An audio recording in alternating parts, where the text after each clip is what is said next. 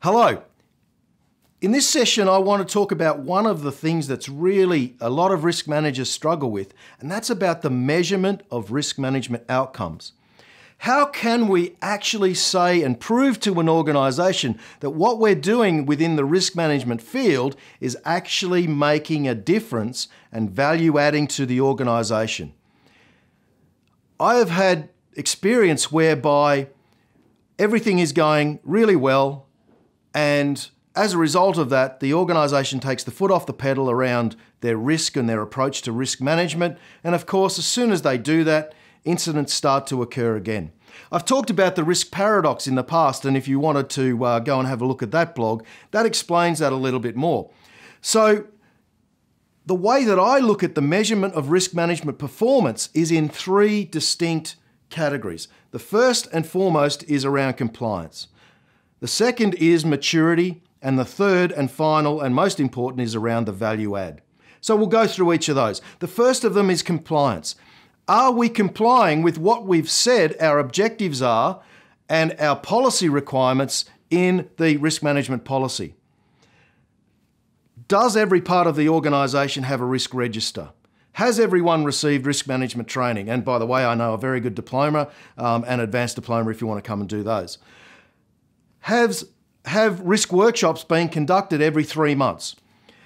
But the interesting thing about the compliance element is you can be 100% compliant with all of the things in the risk management policy, but not adding value to the organisation.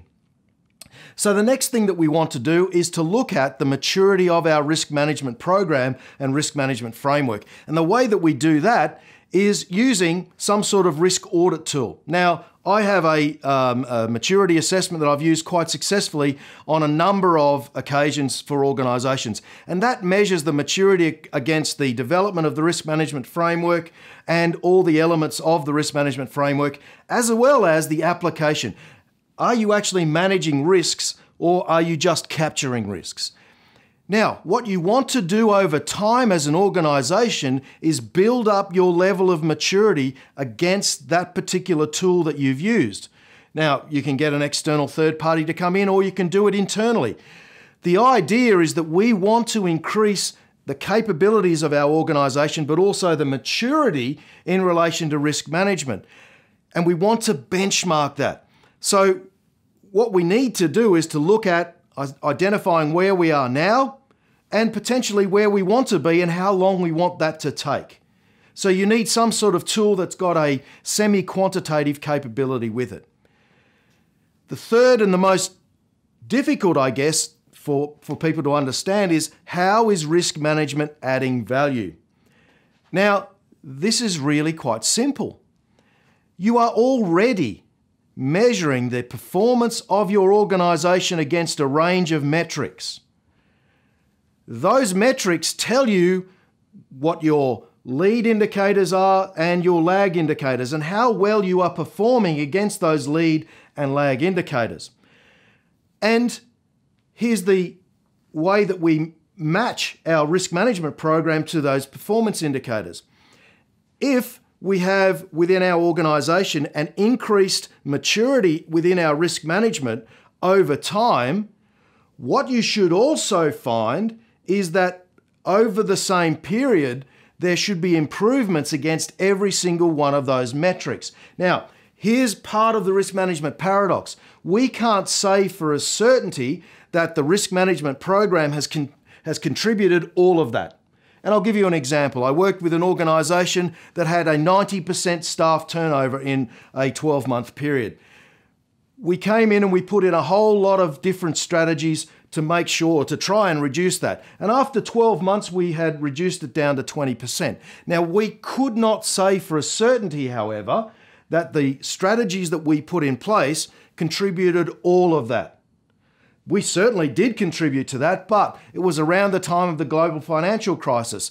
In this particular area, the mining boom had come off slightly. So people were less likely to leave the workplace anyway. But the, what we can say for a certainty is that we contributed to the improvement in that performance.